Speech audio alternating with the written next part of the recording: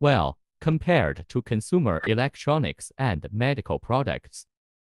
A silicone membrane may sound to be a very unfamiliar item. Here, I am going to show you something useful with this practical video. So, what is a silicone membrane? Silicone membrane is a flexible, durable and heat-resistant material made of high-strength quality silicone rubber. Due to its tear resistance and versatility, it can be used as a reusable vacuum membrane material for a variety of purposes, such as thermoforming solid surfaces, woodworking fields, wrapping doors with 3D PVC and sublimation process. You can see after preheating at the bottom oven. The plate has reached its point of maximum flexibility, allowing a perfect placement on top of the mold.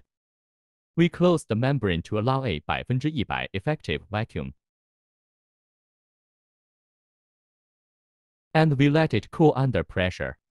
After some time of vacuum, the piece is cold and rigid. The silicone vacuum membrane keeps the heated blank tight to the mold. Then release the clamps each by each and open the upper layer. A new project has been done.